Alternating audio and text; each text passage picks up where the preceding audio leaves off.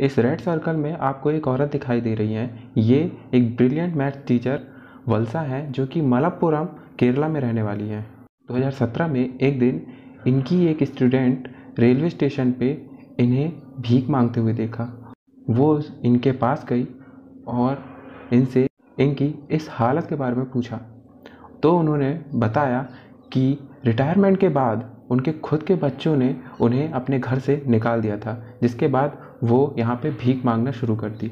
अपनी टीचर्स की ये बात सुन के उन्हें बहुत बुरा लगा। उन्होंने अपनी टीचर को घर लेके आए और उन्हें खाना, कपड़े दिए और उन्होंने फेसबुक में इस बारे में लिखा।